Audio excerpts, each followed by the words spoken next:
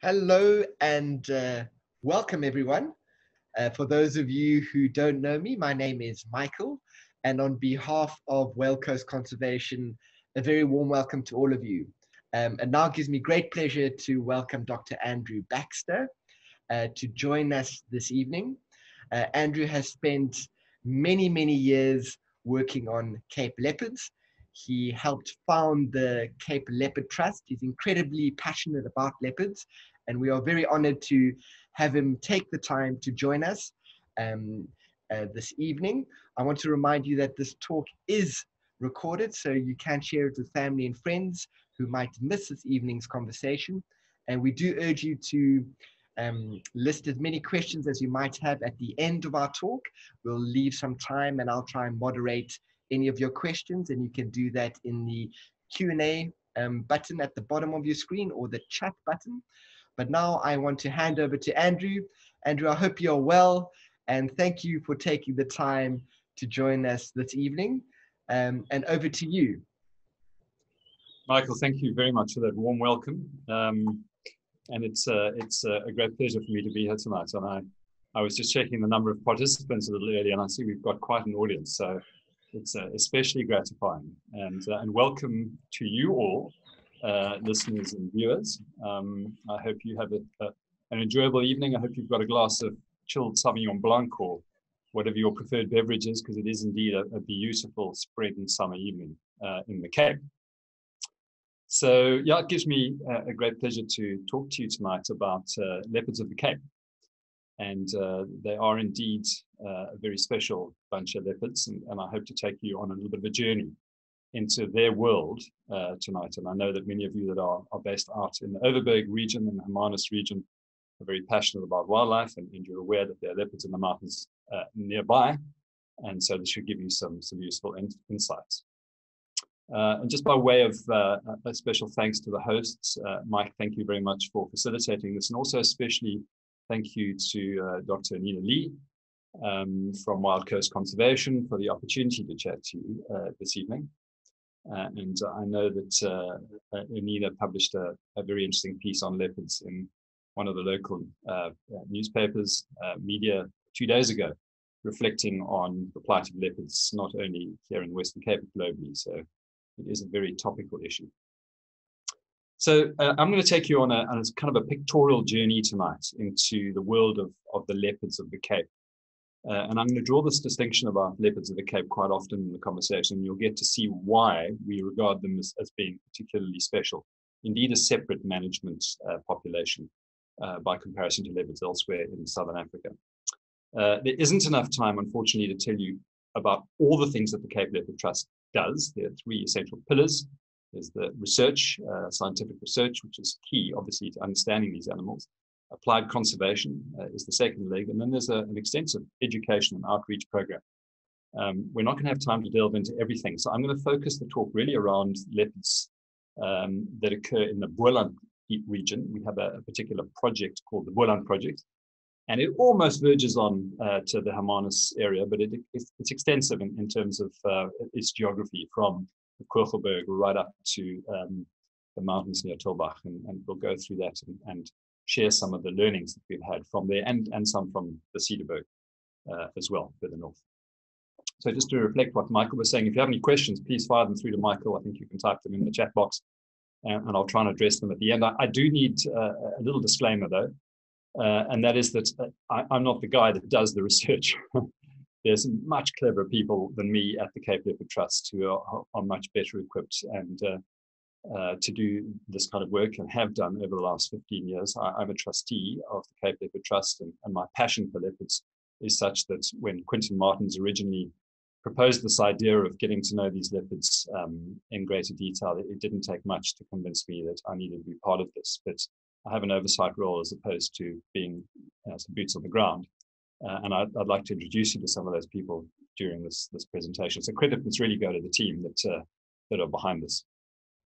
Uh, on a personal note, I mean, I grew up in the Boerlands, uh, not far from a little town called Wolseley, and as a 10 year old boy, um, I uh, came across a, a, leopard in a gin trap um, that had been there for several days, uh, caught um, yeah, by probably one of the farm workers had set this trap to to catch something to eat. Uh, caught a leopard, had been too terrified to tell anyone, and by the time uh, we'd called the SPCA, uh, there was no hope, and the leopard had to be put down. And it was quite a, a, a moving moment in, in my formative years. Uh, and it certainly um, has helped me to uh, foster a, a, great appreciation of leopards ever since. And she's probably why I'm here talking to you about it tonight. So this uh, this talk is about leopards in general, um, and we're going to focus obviously on on the Cape leopard. Now I need to get my screen to move to the next slide, and immediately I'm being challenged to do so. Uh, so please bear with me as I try and work that out. Um, ah, there we go. Fantastic. Look at that. If you know if you're in doubt, just reboot. Uh, so okay, well, look, leopards in general are I mean, they are extremely versatile and adaptable animals. I mean, they occur in a wide variety of, uh, of habitats all around the world. You know, on the top left, you can see a, a forest habitat, a savanna habitat, habitat on the right. They're in deserts. We know that. And of course, the bottom right-hand corner is our own Cederberg Mountains, very rocky and, uh, and inhospitable. Uh, so hugely adaptable. And of all the, the big predators, the most adaptable. Um, and their ranges are, are, are therefore extremely wide. Uh, and they um, are even known to, to move into sort of peri-urban areas. This was a fascinating study. I think it was reported in National Geographic um, by, um, I can't remember who the photographer is in this case, but uh, Steve Winter, that's right, uh, who captured this leopard in deep in the streets of Mumbai in India. Uh, and I think there's been several occurrences or reportings of leopards moving into urban areas around the Cape as well, including deep into a suburb in uh, in Port Elizabeth not so long ago. So they are opportunistic and versatile. They are enigmatic and elusive, and that's what makes them so interesting and um, uh, yeah, and adaptable. So just uh, by way of an overview of leopards in general, I mean, there are nine subspecies of leopards around the world. Uh, and this map, this global map indicates um, that distribution highly threatened in, in most habitats. Uh, and it is the African leopard, the, the, the Panthera pardus pardus, the leopards of uh, our subject of our discussion tonight, that are the most widespread remaining. And that's simply because their habitat is, is still intact. In other parts of the world, the habitat is, is under so much duress that there, there, there's very little habitat left for them. The uh, Amur leopard, for example, um, which has recently been declared as a separate subspecies, making it the ninth. Um, it's less than 2% of its original habitat remains. We're lucky in, in Southern Africa in that there are still tracts of habitat, but these are increasingly under threat. So looking more specifically then at the situation in, in Southern Africa, I mean, this would represent the extent of the distribution uh, historically, uh, leopards would have occurred throughout southern Africa, although probably less so in the, in the uh, Greater Karoo Basin, simply because the environment there is not necessarily conducive to them. But you can see in this map here that uh, certainly across vast swaths of southern Africa, leopards occur. Uh, and then there's this absence currently in the middle, uh, largely because of uh, agricultural practices and, and uh, habitat disturbance.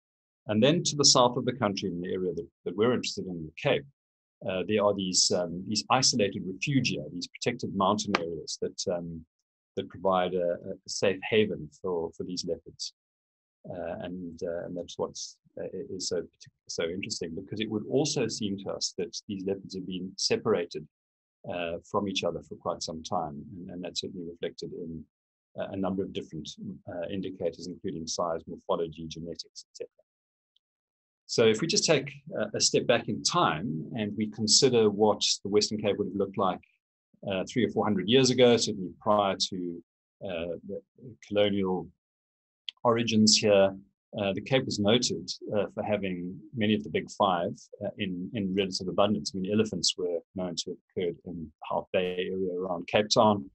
Um, hippo have uh, been were reported all around the, the, the, wet areas of the of the Western Cape. The extinct now extinct um, Cape lion with its dark mane was reported widely. Uh, Cape buffalo and there were other big predators and large animals. So of, of those animals, the only ones, uh, only significant large predator that remains is, of course, the Cape leopard.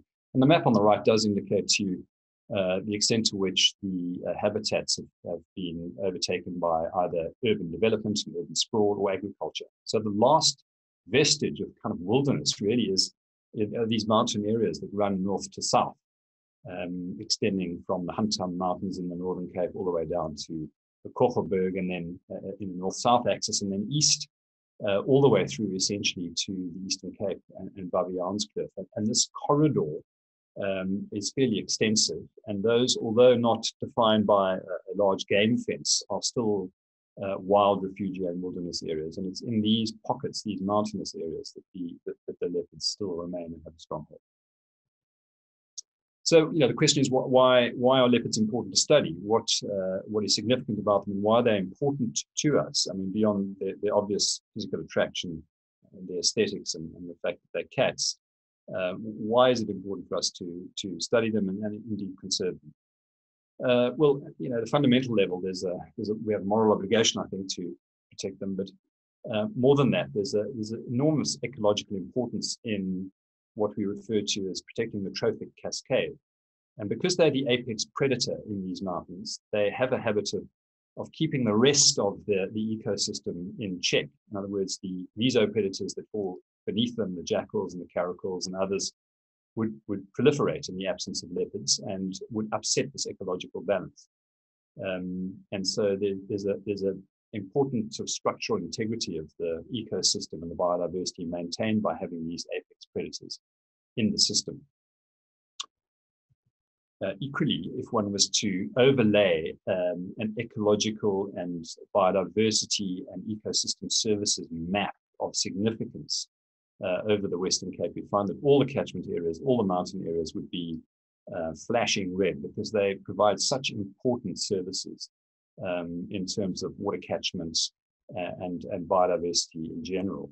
And, and, that's exactly the habitats that these leopards occur in. So by definition, by protecting leopards and their habitats, we're also conserving all of the other uh, animals, plants, animals, and uh, what we refer to as, as, ecosystem services, although I don't like that word at all, but it's the, the, the, natural environment upon which we depend in this case, particularly in the Western Cape water, would be, would be primary.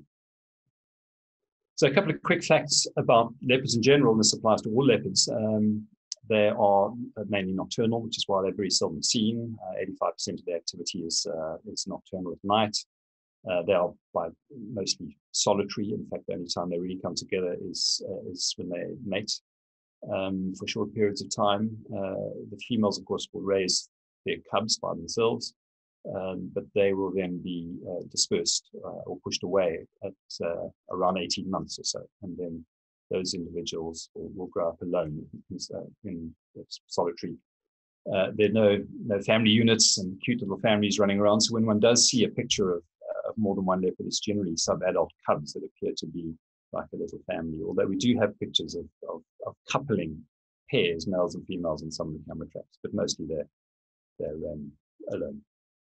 Uh, the other interesting thing is that the rosette patterns, the, the dots and spots, uh, are much like a human's fingerprint. They're, they're unique to each animal, and um, we can use that um, uh, to determine um, identify them and, and, track them through time, through space, using our camera trap surveys. And we've got a novel way of doing that, which I'll reflect on shortly.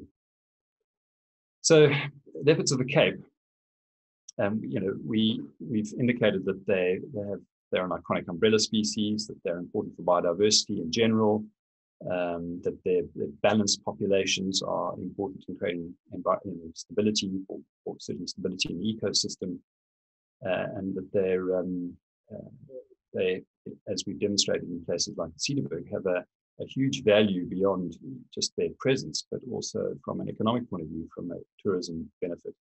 It's very unlikely that people go there and actually see them. Just knowing that they're there um, brings economic benefit to, to that region.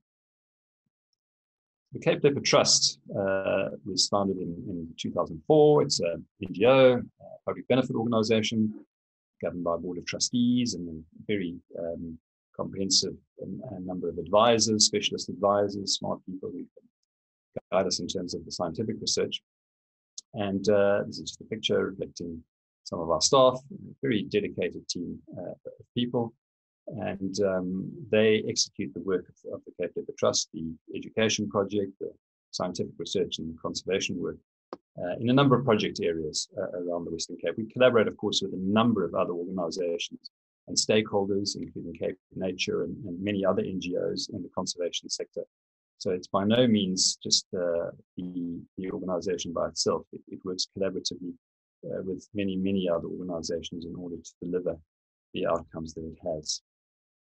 Uh, and the objectives of, uh, of the Cape Leopard Trust, the purpose and vision, of course, is to ensure the long-term survival of leopards um, uh, and, and, of course, their habitats through rigorous scientific research, which is fundamental, um, and uh, the applied conservation initiatives, much of which you'll learn about as we go through this, this, this project. So where did it all begin? Uh, 2004, in fact, uh, a young, enthusiastic young man called Quinton Martins um, dropped into my office and, and begged me to sponsor him a warm sleeping bag and some sturdy boots. And he told me that he had decided to make his life's work to study the leopards of the Western Cape. And I'd remembered that in the 1980s, a guy called Peter Norton had done some preliminary work on leopards, but nothing had happened ever since. Uh, and so I was quick to support Quinton's uh, efforts and make sure that he wasn't going to die of hypothermia. But I was it, it piqued my curiosity, and um, and shortly thereafter we met up with many other passionate people. Um, Johan van der Westhuizen, I believe, might be on the call tonight. The chairman of the Cape Leopard Trust is one of those early adopters. You could see the passion in Quinton's eyes, and um, and, and, was happy to support him. Uh, this is a picture of the man himself, and those are my kids many, many years ago, 16 years ago, 15 years ago. They're all grown up now. Uh, and uh, you know, uh, I don't think I've ever met a man more passionately committed to um, to a conservation project in Quinton. And he really does need uh, to be acknowledged for the immense work he did in, in, in, contributing to this this project over many years. Quinton has subsequently moved to the US with his young family, but uh, visits from time to time. And we're, we're very appreciative of all of his efforts. Um, so the, the current uh, and some of our previous projects, uh, Cape Leopard Trust projects, expand the Northern Cape up near Springbok. Uh, near Clanwilliam and Citrusdal is the Cederberg project, which is an ongoing project.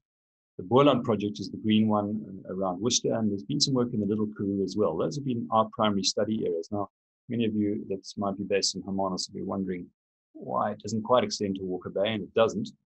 Uh, but it comes pretty close because it gets down to the sort of the extent of our survey area for which we have permits and approvals is uh, down to this little Bot River estuary. And it's not hard to imagine that leopards may be able to cross that little barrier uh, into the mountains behind Hermanus. So in order to actually understand and get a grip on what's actually happening with these leopards, because remember that we've indicated that they're incredibly elusive, hardly ever seen, uh, it took Quinton, I think, two years before he actually physically saw a leopard in the wild uh, in the Cederberg, despite the fact that there were many clues. Now, how do we gather this information about them? How is it possible to learn about them when they're so difficult to see, find, and study? And that's basically all one really ever gets to see in the mountains is, is, is evidence of leopards via their spoor. So we know that they're there, but uh, that doesn't tell us a huge amount. So there are a number of techniques. I mean, obviously, just their presence is one thing, but leopards have uh, particular behaviors. Uh, scratching trees is uh, is one that tells us about them, and uh, they, they scent the trees in the process. They put a gland between their, their pads, and they mark their territory in that way. Uh, leopard scats are found all over the mountains, um, and and are often positioned tactically by the leopards as a means of marking their territory. Um, and contained in those scats is a wealth of information. There's DNA information, there's the diet, of course, of the animal can be determined very easily by microscopic analysis of the of the hairs, the bones, uh, and various materials in the scats. And, and, that is part of our research because it tells us about the prey densities and all of the prey species, preferred prey, prey species uh, of, of the leopards in different areas.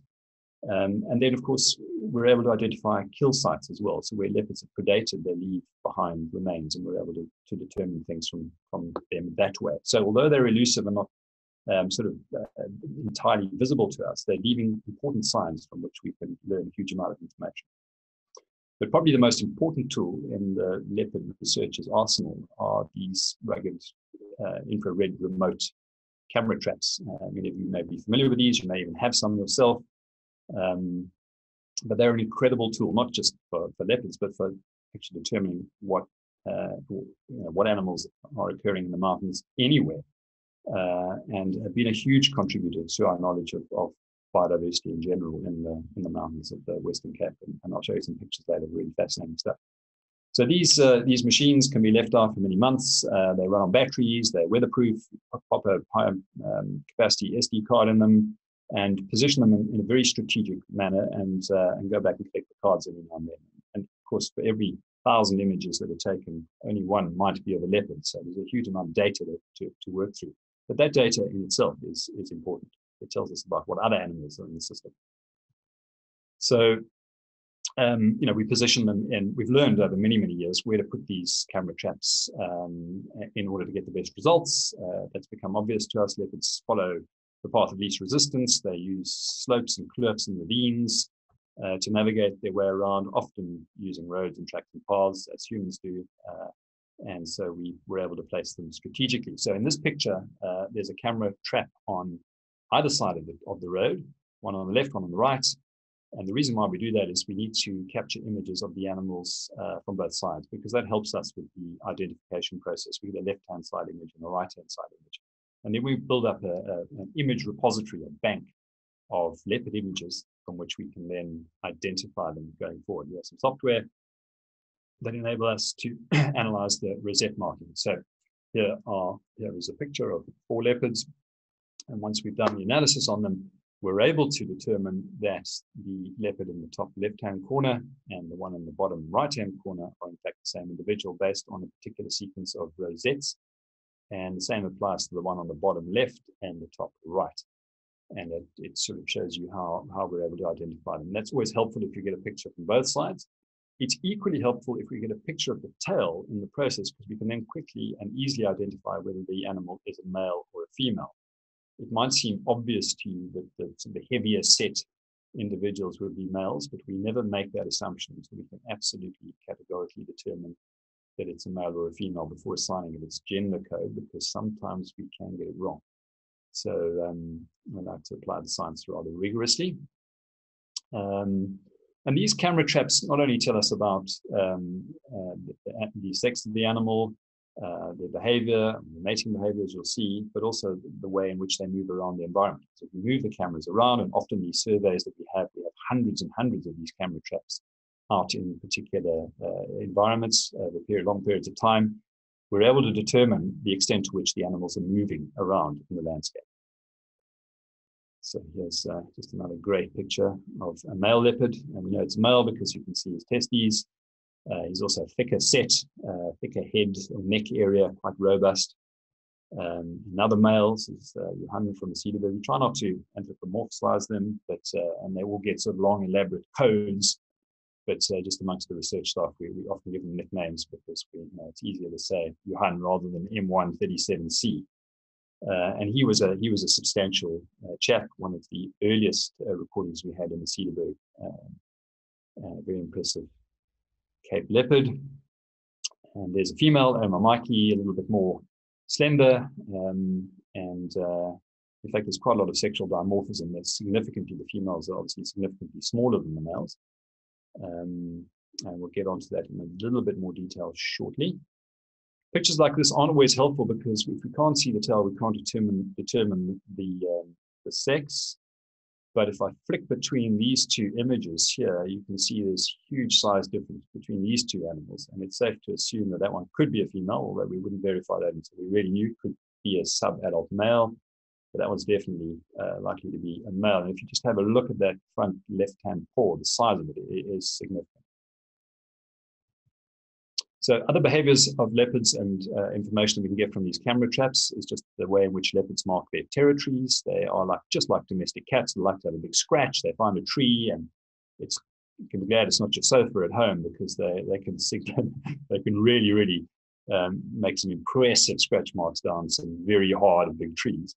You can see the guy on the right, he's really having a big scratch. They do so uh, not only to sharpen their claws, but also to scent um, their territory. They've got glands between their claws, and, and that leaves a scent behind. Uh, they also mark their territory by spraying. So the male on the left is having a little tail up spray, urine spray on the tree. And at some other stage, um, what appears to be a, a female is coming up and she's investigating the scent. I cannot tell you what the outcome of that was. One can only assume. But in this instance, we do know what the outcome was uh, because this is one of those rare occasions when you see a male and female leopard in one camera trap picture. Um, we subsequently were able to confirm that Johan, who had a, a significant uh, territory um, in the Cederberg, very, very vast area that he uh, dominated, um, had at least three females uh, inside of its territory and would have been mating with them uh, when the opportunity arose. And in this case, they come together and mate, during which time the male is quite protective of the female because while he's covering her, he's uh, quite uh, keen to ensure that no other male is getting to her. So he does hover around and, uh, until effectively the job is done.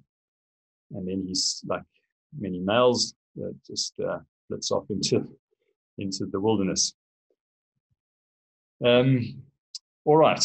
So, uh, you know, what does the this vast amount of data we collect from these uh, these camera traps really tell us? Uh, you can imagine that if we're collecting thousands of images from every single camera trap, uh, it's a huge amount of information. So we, we digitize it all, we collect all the images, we're able to determine uh, identification or identikits for the leopards.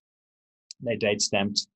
Um, and we also collect the, the information on all the other animals that we collect because that's useful for understanding what's in the environment and the prey densities.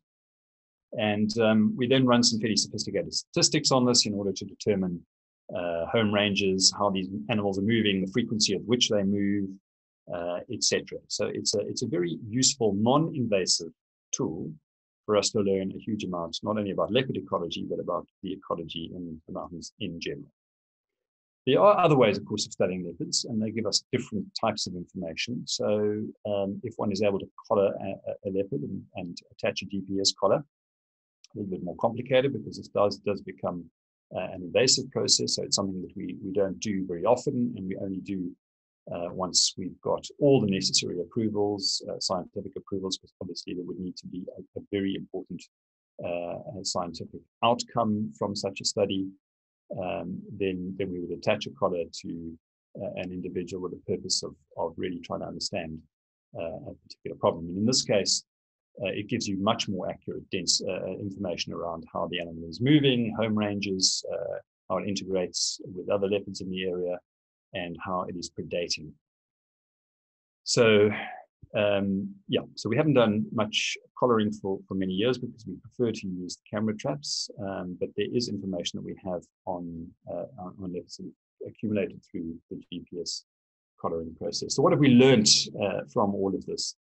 A couple of things that distinguish the leopards of the Cape from uh, other leopards, or what we refer to as the savanna leopards, is the, the leopards here are far smaller than leopards that occur elsewhere in, uh, in the subcontinent. You know, typically, the average size of, of a male leopard uh, in Phinda or up in the Kruger or the Kalahari would be 60 kilograms and above. I mean, they can get up to 80 or 90 kilograms even. Uh, they're substantial uh, and potentially dangerous animals.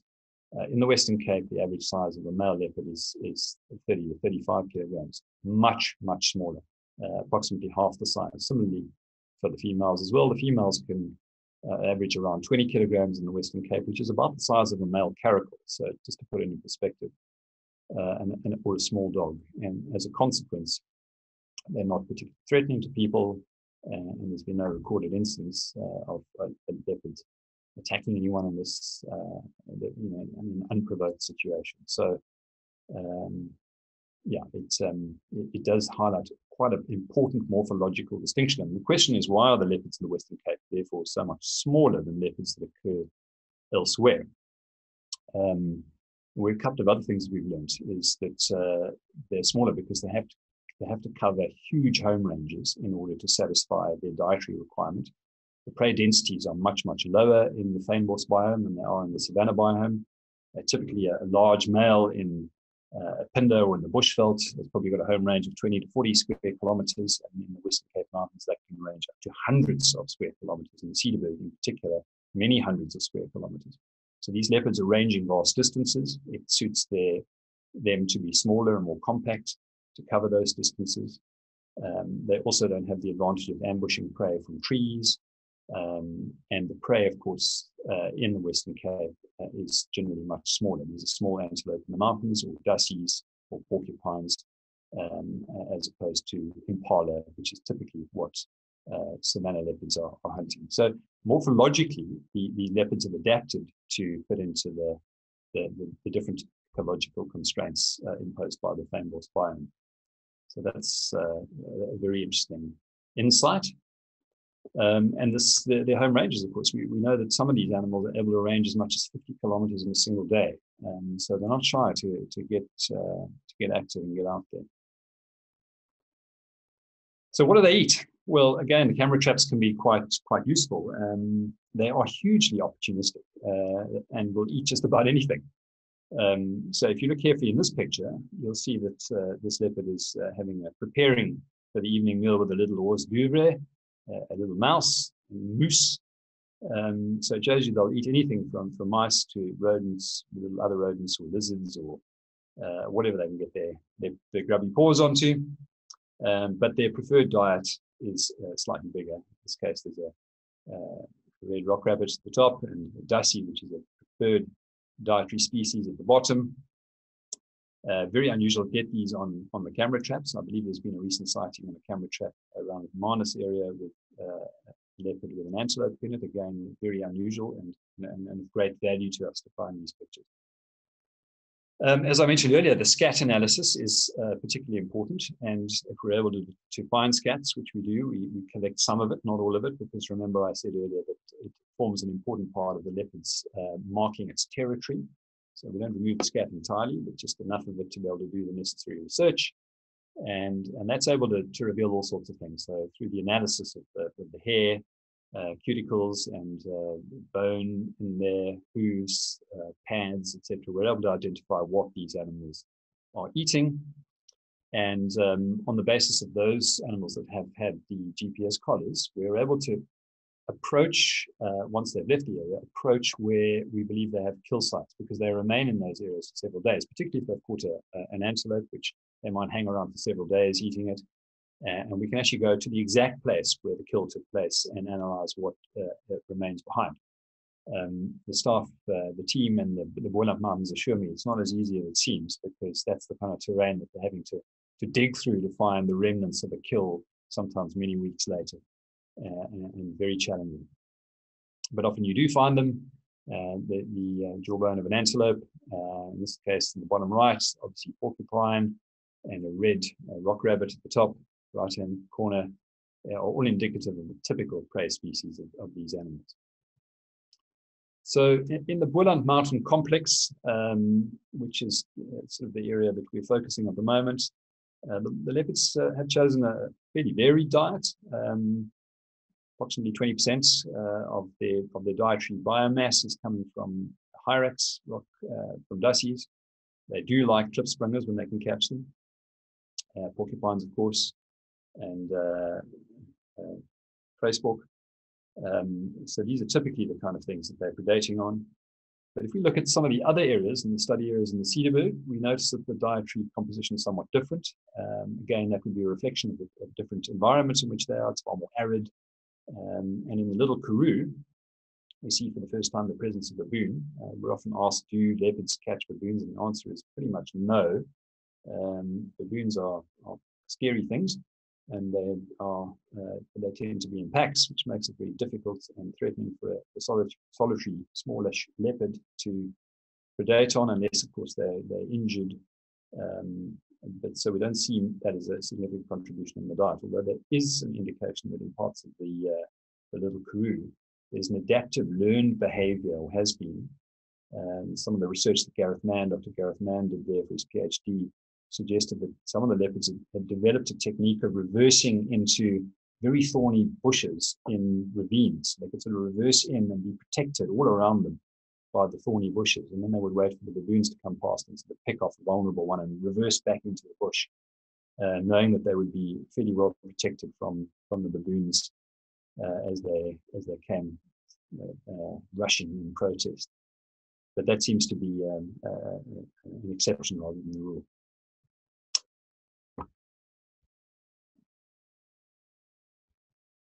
So, what are the threats to leopard survival in the Cape? This is all a very important question, and it's something that citizen scientists can get involved in um, in some way. Uh, and we're going to speak about snaring in that regard. I mean, obviously, there's the big ones: the agricultural and urban, urban development, uh, urban sprawl, agricultural sprawl has, uh, has reduced habitats and, and, fragmented it. I mentioned earlier, could leopards be passing through from the Kogelberg to the Hermanus Mountains? Well, they've got to get across a busy road, and that's a, that's a huge problem. They've got to get across farmland and fences, etc. So you know that's a perennial problem. I mean, fire in the fynbos biome is is natural. We know that it's an important part of fynbos ecology, but often the fires are too frequent or too large, or uh, you know that contributes to um, to the, to loss of prey species uh, sometimes for significant periods of time. And because the leopards can't move out of the area so easily, then they're, they're left without sufficient prey.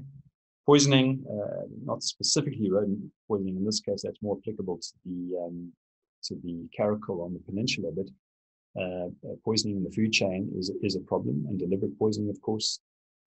And um, I mean, direct persecution from farmers isn't a major issue in the in the Boland area, but it was in areas of uh, the Northern Cape and originally in the peripheries of the Cederberg, although not any longer. Uh, I'm pleased to say.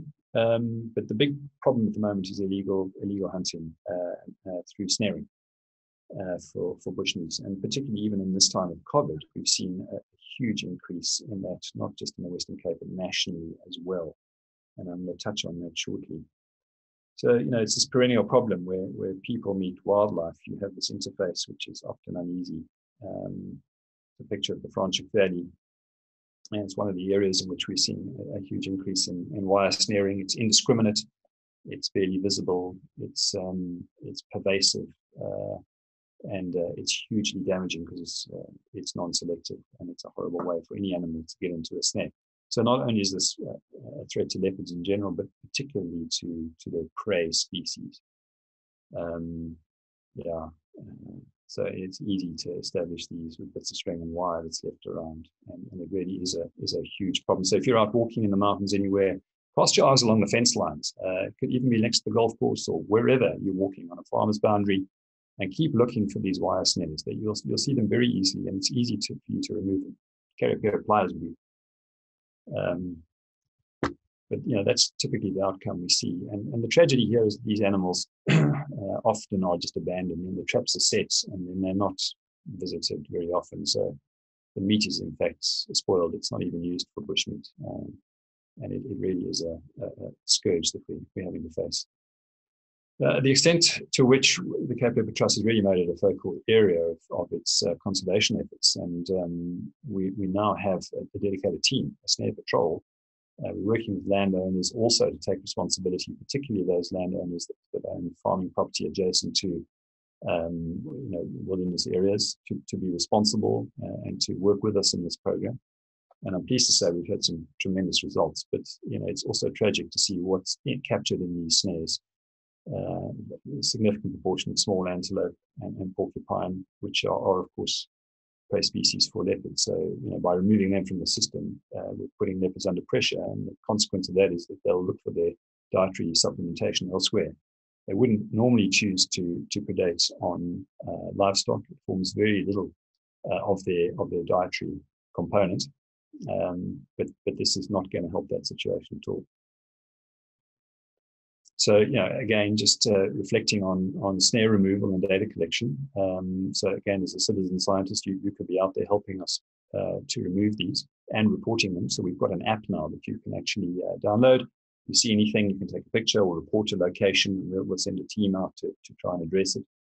Um, the photograph on the bottom here with all the little yellow dots or, or orange dots indicates just one farmer's property or one farm in our in our study area where uh, there were traps or snares. So, so there are at least 20 snares on that property along the boundary fence between agricultural land and the mountain land.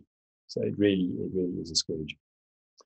So you know, in the past year, we've conducted uh, 218 patrols in the in the Boland Mountains, uh, randomly all over the place. Um, patrolled more than 1,500 kilometers on foot in remote areas. Removed 673 traps, um, and so this is important work but it's, it's more than that. I mean, we have to get, it's not something that can just be the responsibility of the Cape Leopard Trust. and a couple of individual researchers, this now has to be a collective issue. And so we're addressing the problem with landowners, with authorities, with the management authorities, in this case, Cape Nature and others, uh, through education programs, outreach. And uh, it's been wonderful and gratifying to see how uh, many of the landowners and the farmers are taking responsibility for addressing this problem themselves, which is really, really good to hear. Uh, so see, these are some of the SNARE workshops conducted on, on farms in the region. Uh, and it's, I, I, think it's really important uh, to mention that many of these farmers take great pride in, in their, their product and, uh, and they wouldn't want to be um, thought to be part of the problem and, and, are therefore willing to be part of the solution, and particularly those that have properties that are butt up against um, the mountain land. Other challenges, of course, are things like feral dogs, and, and uh, this is also a problem, particularly in the Franschhoek area.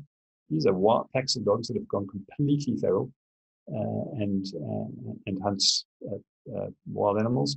Uh, again, a threat to leopards. Um, and and often, and, and very interestingly, they are the ones that are responsible for livestock mortalities, and then leopards are, quickly blamed, or caracal or jackal uh, when in fact, in many cases, it, uh, it is in fact feral dogs. Road mortalities. So you know, please drive slowly at night So the remote mountain passes. This is a tragic incident, I think, on Bainskloof.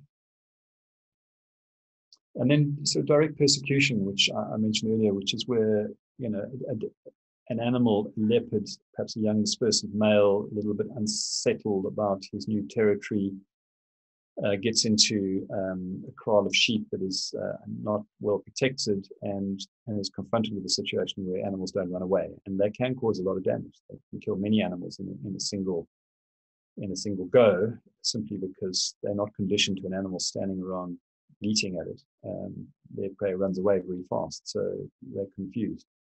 And so you get a situation where a leopard might kill 10 animals in an evening, and a farmer will be justifiably hugely upset so, you know, how do we deal with these issues when they do happen? Um, and um, well, I mean, when they do happen, it's, not very often, but it does occur, particularly in areas where stock farming is the is the primary agricultural purpose. Uh, and there are a number of ways in which we address it. I think this slide speaks more to the fact that uh, in the Boland that's not a problem at all, and uh, and very less so in the Cederberg, although it does occur in areas where there are subsistence farmers, and for them, losing a single head of sheep is, is a major problem. So, uh, our, our, scientific officers in that area are uh, working closely with those communities to seek ways in which we can solve that problem without uh, without consequences for the leopards. and there are many, many uh, strategies in place. Um, livestock guarding is the obvious one. You know, put the human in the loop, uh, empowering human herders to do what they've done for thousands of years, protecting their livestock rather than just kraaling them and hoping for the best. Um, but interventions like Anatolian shepherd dogs, uh, even donkeys and alpacas have been hugely, hugely helpful. In Cederberg, particularly the Anatolian dogs have, been, uh, have shown us that they are uh, massively important in, in solving this problem. But there are other things too, like electronic scarpwachter deterrents with flashing lights and things that put the leopards off. Uh, and um, and, and sent to, to predators. So there's a whole basket of, of things that we can apply, and they are very effective. It's just a matter of getting them out there and, and implementing them. So the uh, the Boland project that I've been speaking about extensively is now in its 10th year, and uh, it's uh, it's an extensive area uh, run by a very dedicated team in quite uh, demanding conditions. And I know many of our supporters have uh, pledged cameras and have sponsored cameras and go and service them themselves. And we're very grateful for that. So hint, hint, those of you that, are fit and feel inclined to work with us in, in that regard. Um, uh, the Boland Mountains, uh, this particular project, as I mentioned before, runs in this north-south axis, basically from Cape Hangklip and the Kogelberg uh, up to uh, the Tulbagh area, uh, it's a higher resolution map. It's a, it's a vast area, but we've got a huge amount of data on the leopards from, from this particular area uh, based on, on 10 years worth of, of, data collection. And we feel we've really got a, a good grip on them. So um, there's that boundary near, near Kleinmond again, and it's safe to assume that there will be some uh, transitioning of, of animals uh, safely, we hope, across that divide so that the populations aren't entirely isolated as we mentioned earlier, these animals are able to cover vast distances and are not scared to come into the peri-urban areas or agricultural areas. Um, so just uh, just as we get towards the end of the presentation, just to share with you some of the other interesting data we collect from these camera traps, uh, particularly from the Boland area. Um, this is always entertaining to show you that, um, that, they're not the only animals. Of course, the leopards are, are, few and far between compared to these little guys, and they tend to have a lot of fun with our camera traps, very curious. So we get lots and lots and lots of pictures of baboons, uh, almost as if they're taunting us. But then there's a whole bunch of, of, of mammals, and um, I'm sure many of you will know what they are. But uh, for those of you that, don't, it's a klipspringer. That's a favored uh, prey species of, of the leopard. Uh, there's a grysbok. Uh, there's a common duiker. There's a grey rhebok, porcupine. The, the leopards are, are, very adept at flipping these guys over safely so that they can get to them without being impaled by the quills. It's a favorite prey stuff. It's a hare. That's a red rock rabbit. Um, probably not a preferred prey species for leopards, but always great to see these guys. That's a honey badger. Um, at the top, we've got uh, a large spotted genet, and the bottom, with a little mouth, a mouse in his mouth, is the small spotted genet. Uh, on the left is a small uh, grey mongoose, and on the right, the large variant of that. That's a water mongoose. Uh, it's a Cape Clawless otter. Uh, that is a striped polecat. And this is a very interesting, a tiny little, in fact, it's the smallest carnivore, I think, on the African continent. It is an African striped weasel. It's actually diminutive. It's only a few, about 10 or 15 centimeters long. So it looks a bit bigger. Maybe it's a bit bigger than that, but it, it, it looks a bit bigger than it actually is in this picture. Um, and, and, what's fascinating about this, there's caught a little thing um, is that until this camera survey was done in the in the Boland Mountains, its distribution was not thought to be so far west. So you know, some great science is coming out of just these these camera trap surveys that we're doing. That's Cape Fox, Bat-eared Fox, that you all know is Aardvark, uh, African wildcats with a kitten. That's our friend the caracal. So are really arch enemies with the leopards. So they, they compete with each other. So they, they try and avoid each other where they can. Um, there's no question that they'll go into battle if, if a leopard comes across a, um, a caracal. And so they tend to use the environment somewhat differently. And then, of course, the, the leopards. these are the guys that we, we, all want to see uh, and very seldom do. But uh, in this case, we've got some daytime pictures, which is quite unusual of Bacardi. Again, did, they normally have scientific numbers, but the, the teams have given these nicknames. The substantial male, another guy, big guy, Diego. It's Rose. She's casually walking along the catwalk somewhere in the Kogelberg, Shiloh, Nala, up in Stettynskloof, that's on the on the Worcester Rawsonville side of the mountains. Jabulani, pretty up in the Toyscliff. Enzo hangs out in the Wemmershoek area near Mont Rochelle, for those of you that uh, go walking in the snow. Sky is up in the Hottentots Holland Mountains, and she's not scared of the cold either. So some really great pictures here. Neo, Helshoogte area. Scott from the Steenbras area. And those are just a few of the leopards that we know occur in the Boland area. And I just want to sort of get to the concluding slides of this presentation before I field some questions.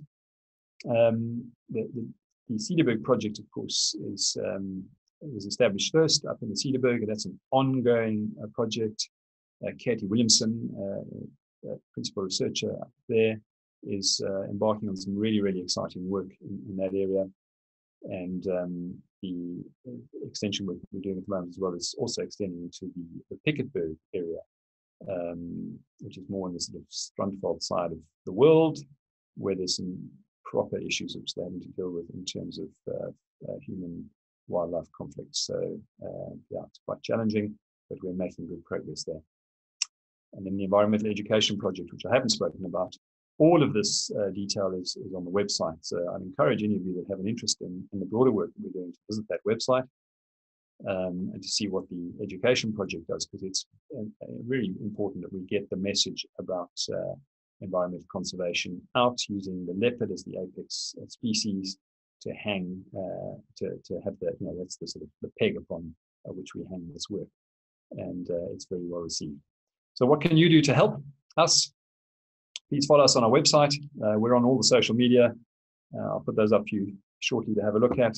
Uh, please, please spread awareness of the work that we do and the importance of protecting leopards because of their, their consequential uh, impact on the rest of their, their habitat and everything else in it. Um, if you know any farmers, get them to speak to us if they've got a problem with their animal husbandry. And if you know anyone with land, or if you own land, or you walk in the mountains, please be on the lookout for snares. That's the, the, the big issue at the moment. Um, and it's something that you can easily do. Um, so be snare aware. It's uh, obviously a very important message. Um, one of the things you can do there as well is to help with the removal of, of just discarded wire. There's so much wire lying around discarded, and it just forms, you know, it's just so easy for people to to use it for snaring. If we remove that, uh, we remove some of the problem. Um, yeah, I think I've spoken generally about uh, about what you can do. I've mentioned the app, the online snare reporting tool, which you can download off uh, capeleopard.org.za, where you can report the uh, any wire snares that you see if you're less inclined to remove them yourself. And if you would like to involve uh, yourself in supporting us financially, there are very easy ways to do that that are, that are not painful at all. The My School, My Planet card, which many of you will be familiar with if you shop at any of those stores at the bottom, uh, will contribute a portion of your spend back to beneficiaries. If you name the Cape Leopard Trust as a beneficiary, every time you spend money, uh, that organization will donate money on your behalf. And, and it's a lovely annuity income stream to support the work that we do. Uh, please visit our website. It's extensive. It deals with many, many more issues than I've spoken about tonight.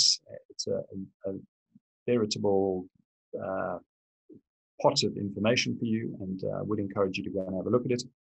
Um, if it's Christmas time coming up, we've just launched a really fabulous book um, called Footprints in the Fynbos. Uh, we went to the launch uh, a week or two ago. It's really been well received. It's an educational book for kids, and uh, please buy one from us. It's in Afrikaans as well, Voetspore in die Fynbos. And it would be remiss of me not to mention the support we've had from uh, our many supporters over a long period of time. And it, it's worth mentioning that just about all of these supporters have been with the Cape Leopard Trust for the full 15 years, uh, which would indicate that they are pleased with the, the work that has been done and the results that have been achieved. And we're enormously grateful to all of these organizations for, for their enduring support of what we believe is a, a very important conservation issue. Those are our handles. Please follow us. And it remains for me only to say thank you very much for your time. I really appreciate it. And I hope you benefit from this, uh, this chat tonight. Thank you. Thank you, Andrew. I'm going to try to get through some of the questions.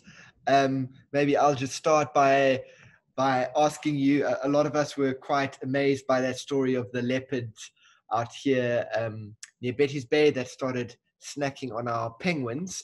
And maybe you can just tell us a little bit uh, about that story if, if you are familiar with it. Uh, thanks, Michael. Yeah, I knew that one was going to come up. so, yeah, I mean, what a, what a wonderful story, really. I mean, uh, of course, it divided the leopard supporters and the penguin supporters, but it really was a classical example of opportunism. Um, uh, you know, as an ecologist, I, I, have sympathy for both sides, but it, it is worth bearing in mind that African penguins never ever colonized the coastline of, of South Africa until humans came into the mix. Because historically, there were always predators. There were hyenas, there were leopards, there were caracal, there were jackals, there was every manner of predator that was you know going along the beaches and they would have had no chance to to to breed on the coastline so they were all island based until we came along and created an opportunity for them. So the Boulders Beach Penguin Colony and the Stony Point Beach Colony is as a consequence of us creating houses as a buffer between the mountains and the penguins. And, and therefore they've had relative safety. And with the protection of people, they've, they've had extra safety. But it was this opportunistic young female leopard that managed to cross the road, sneak through several properties around someone's swimming pool, down to the colony and grab a penguin and trot off back into the hills that captured everyone's imagination. It was it was actually fantastic to see. I, mean, uh, uh, I don't think we can we can blame her for, for being opportunistic. Uh, of course, it upset the penguin people. Andrew, um, um, one of the questions coming through from Gert is, do you have an estimation on numbers or do we not really talk about numbers of leopards? And has it increased or decreased um, since you've been doing this work? Yeah. Yeah, thanks, Gert. Thanks very much for the question. And, and, it's a great question. It's one we always ask, and it's always one that's difficult to answer. So I'm going to try and give you the best answer I can. Um, in the broader Western Cape, uh, we believe there are many hundreds of leopards. Uh, there are hundreds, but I can't put a precise figure on it. Um, it could probably be a little bit more accurate in the Boland project. Uh, but I think what's most important is to understand that the, the, population appears now to be relatively stable. And certainly our experience in Cederberg over 15 years would suggest there's far less churn than there was before. So what was typically happening at the outset of the work that we were doing there is there was quite a lot of mortalities uh, in, this, in the greater Cederberg area pre-2004. You know, they're losing seven or eight leopard a year in, in either gin traps or some form of, of, um, uh, of consequence. And, and those leopards, every time a, a, a, large male leopard gets removed out of the system, creates opportunities for dispersant males and it confuses the balance of the, of the population dynamics. And uh, but once the population becomes stable, you get dominant males in place. Um, there's there's much less of, of that kind of thing happening, and and and, and certainly through the interventions of the uh, engagements with farmers around stock management, um, those issues of uh, around you know, leopards being killed in the area have completely stopped. So the, the, the, leopard population is now supported by the ecology of the, of the wilderness area and is relatively stable. So we're not necessarily thinking that they're increasing or declining, but there is uh, they're, they're stable. That's great to hear. Pat was asking, I think you've already answered this, but would you assume that baboons are more afraid of elephant, uh, leopards, not elephants, or are leopards more afraid of of baboons? And she asked whether they might prey on a solitary or a vulnerable uh, baboon as opposed to um, going going into a troop of baboons. Yeah, yeah, yeah, um, yeah. I mean, baboons, as anyone who knows has walked in the mountains or been confronted by a baboon, perhaps uh, those that have been habituated, will know they're very scary. Uh, they've got huge fangs and uh, they're, they're, they're, nasty and they work in packs. So, you know, solitary leopard, uh, particularly a, a, female leopard that weighs only 20 kilograms, she's no match for a, for a male uh, baboon, and certainly not a pack of them. So she's never going to try her luck. Um, but uh, Pat's quite right. If there was a, an incident where there was a, a baboon that is uh, severely injured, you know, they sometimes do fall off cliffs in the rock fall or, or, or, they get maimed. I mean, many of the baboons in the Western Cape have been caught in gin traps and have lost limbs and um, are in a bad way. And, and if they were to be vulnerable and she would be, have the opportunity to pick one off, she, she might try that, or he might try that. But the real threat is that the rest of the baboon troop then come at her or him, and, uh, and, and they would be very scared of that. So they, they as I described the, the sequence of events in the little Karoo where they can ambush, um, that would that would sort of be the way in which it would happen. But otherwise, it's not a preferred prey species. Andrew, some of us watched that documentary to skin a cat, and it was a fascinating story about, um, you know, swapping out real leopard fur for fake fur, and the Shembe communities, um, how they used to use leopard for their traditional uh, attire. Um, have you? I know that wasn't one of the threats that you mentioned, but have have you seen that as a positive um, effect, and maybe explain more to people who don't know about it? Yeah, Mike, yeah, that's a that's a, great example of where you know um, conservation ingenuity is coming to solve a particular problem. So you know traditionally in, in uh, isiZulu culture, um, for traditional leaders, wearing uh, you know, leopard headdress and leopard regalia is is part of uh, their, their, history. And um, but you know, with time, as there are fewer and fewer leopards, you know, it's, it's, it's a, it presents a problem because every time you know someone needs some new regalia, it means a leopard has to die, and that's that's not a great thing at all. So that has been a problem in, in KZN, and one of the one of the ways in which that was addressed was an NGO that came up with this fantastic idea to make faux leopard skin. Uh, and they did it so incredibly well. And it had all sorts of other benefits as well. You could throw it in the washing machine and you, know, you get it in different sizes and uh, you could bling it or, or, whatever the case is. So, you know, it, it presented a wonderful alternative to the, to the, natural variation. And, and, you know, obviously the hard work was not in, in producing the, the, faux leopard skin, but in rather convincing the community that this was a, an important, necessary step for them without losing uh, what was an important, in their minds, cultural um, aspect of, of, of, what it meant to be Zulu. So, yeah, so that, that that's a great step. It doesn't appear to be a problem in the Western Cape that the, the, leopards are being poached for, for their pelts. But I mean, you know, it, it, could it could become a problem in the future. So we, we, we like that. We like that strategy. And I think it's quite similar to those ideas you're talking about. Um, I, I, know for a while there, you, you could buy predator-friendly meat in the stores, and this idea that if a farmer looks after his livestock, um, there would be a premium for that sheep meat or whatever it was because you knew no leopard or caracal was injured in in, in that farming practice. Uh, do you think that's something that might also, um, um, you know?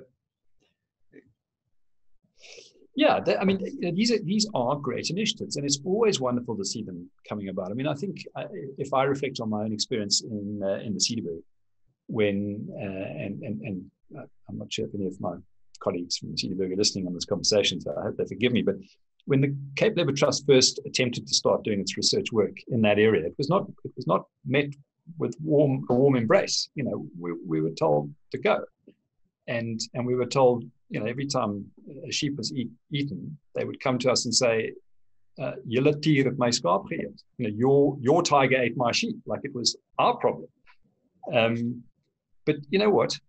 With time, we what's happened is that everyone's realized what an enormous benefit these le- these leopards, our leopards, everybody's leopards, have uh, for for the economy of that area. And whereas they were, you know, they were never thought of having any sort of commercial value, they're now an important part of the ecotourism to the region. And, and all of those farmers are now, you know, espousing the, the work of the Cape Leopard Trust and talking about the work. And there's this, this pervasive sense that if you're a visitor to the area, that you might get a glimpse of an elusive leopard.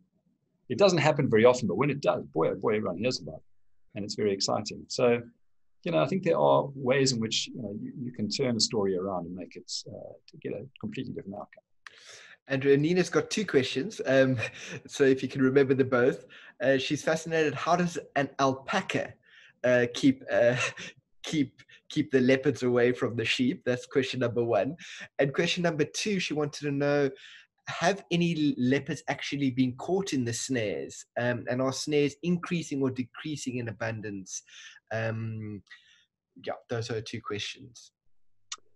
Right, thanks, Anina. Uh, um, I'm not entirely sure how alpacas are a deterrent. So I would imagine that in, in, in similar ways that uh, an Anatolian shepherd dog is. So it's just the mere presence of the dog with the sheep that is unusual uh, for, uh, for the leopards. They, uh, there's foreign scent. And and the other thing that the leopard does, which could be a common commonality with the alpaca, is that the, the sheep range out into the veld every day. But just like Pavlov's dog, at around five o'clock or six o'clock, the dog is hungry and wants to come home. And it turns around and heads for the werf, and all the sheep follow it. So, you know, it brings them back to kraal them safely around the homestead. And it, it could well be that the alpaca has a similar habit. But it's often just this foreign object that is different to the sheep, that has a different smell, uh, that is enough of a deterrent to to to, to solve the problem.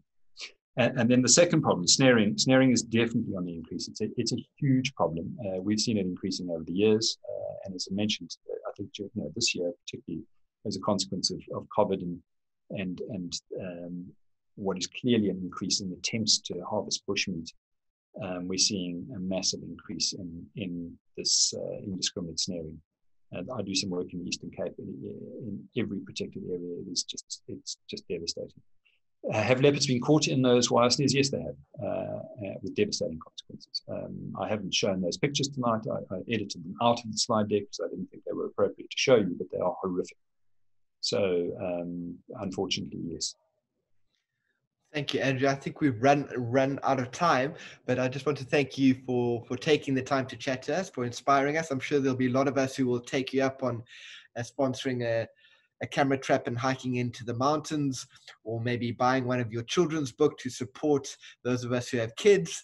And uh, just really, really inspiring chat, and just shows like-minded people who come together can really make a huge difference. Um, so thank you for the work you're doing. We really appreciate it. And I urge everyone to support your work and to download that app and to help in, in any way we can. And uh, we'll stay in touch and, and keep up the good work. Thank you very much. Have a great evening. Thank you very much. And thank you to all the subscribers, listeners, and viewers. Thanks, Andrew. Keep well. Thank you. Michael. Goodbye, everyone. See you on the 10th. Bye.